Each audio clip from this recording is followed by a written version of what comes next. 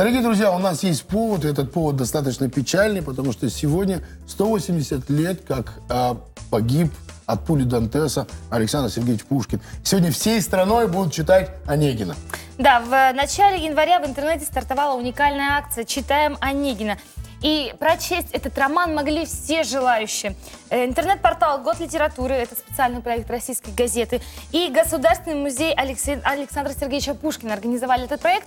И вот о том, кто принимал в нем участие, кто прочитал Онегина от А до Я, мы сегодня узнаем у наших гостей. Ирина Ашуркова, редактор проектов российской газеты в Екатеринбурге. Доброе утро, Ирина. Доброе утро, очень приятно. И все-таки, как собиралась эта видеокнига? Сколько работ прислали? Расскажите нам, очень интересно. Конечно, проект э, длился почти месяц, с 4 января по 1 февраля. Портал принимал э, видеоролики от всех желающих, могли поучаствовать, ну вот, ну вот все, кто захотел, независимо от возраста, роста, социального положения, места нахождения – а, То есть люди просто записывали себя на телефон? Да, на не обязательно аппарат. было э, профессиональную камеру, можно было снять себя или друзей на смартфон, прочитать там 10-15 секундные э, отрывочек, либо на несколько минут присылали ролики, то есть креативу не было предела. Угу. А в итоге в, в редакцию портала поступило более тысячи видеосюжетиков.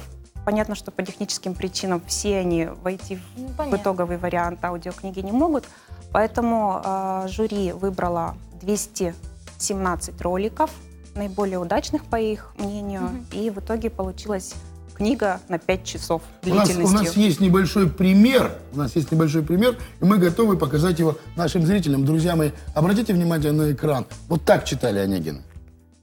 Мой дядя самых честных правил, когда не в шутку за не мог, он уважать себя заставил. И лучше выдумать не мог. Его пример другим наука.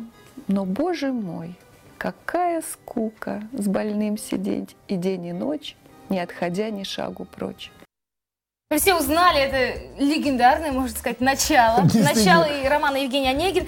Кто еще из публичных людей принимал участие в записи этой видеокниги? Ой, вы знаете, традиционно очень хорошо отзываются артисты, музыканты. То есть это и Сергей Безруков, и Дмитрий Дюжев, и Юлия Пересильд – из музыкантов Диана Арбенина читала Онегина, Дельфин.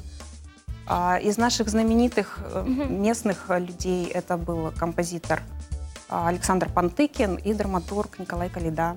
И в числе всех этих знаменитостей были и простые люди, ну, если можно да, так конечно, сказать. было очень много детей, подростков, студентов. Вот. А у нас из Свердловской области много участников? Вы знаете, точное количество сложно посчитать по той простой причине, что не все а, задумывались о том, что нужно указать место, mm, откуда они ну, отправили да, ролик. Но вот из тех, кого нам удалось установить, наиболее активными были екатеринбуржцы, жители Ирбита, Новоуральска, Верхней Салды, очень обаятельные молодые как люди. Гордость меня Скажи, Скажите, Ирина, а вообще ареал э, всех роликов каков?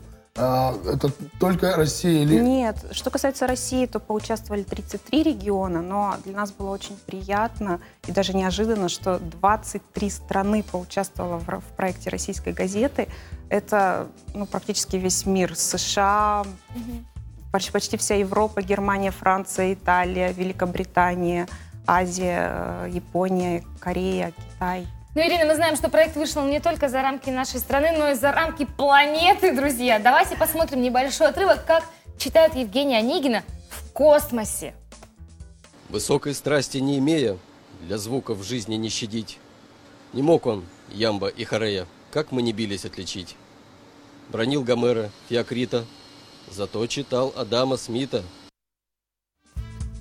Красиво, Надо да? же, как красиво, действительно. А, Сонь, а ты можешь сейчас вот что-то накидать? Из-за него.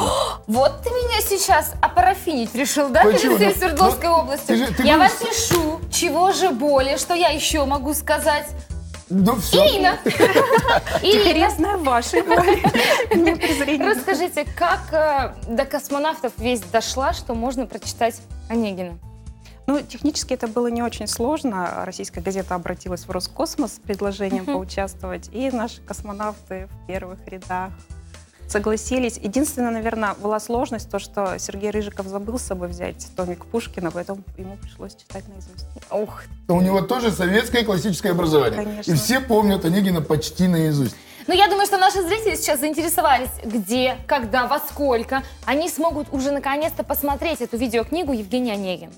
А, Сегодня вариант появится на портале «Год литературы», а торжественное мероприятие будет в час дня по Москве в Государственном музее Пушкина. Собственно, прямую трансляцию тоже можно посмотреть. Ну и также на сайтах пушкинских музеев все это будет. И- а потом можно все пять часов прослушать. как- Конечно. Я Ну- думаю, что и библиотеки подключатся. Можно будет запись в любой библиотеке. Но ведь мы еще знаем, что будут выбирать лучшего чтеца. Да, если можно так сказать. Что это будет? Как будет проходить голосование? А голосование продлится еще неделю, до 17 февраля. Можно зайти на портал и отметить лайком даже не один ролик, а несколько понравившихся. А что получит победитель? О, это интересные подарки от нашего технического партнера Samsung Electronic. Э, Это современные гаджеты, смартфоны и планшеты. Всего по- Серьезно? Да, всего победителей будет 10. Это 7 счастливчиков, которые наберут наибольшее количество голосов на портале, а также а, трое, которых выберет жюри.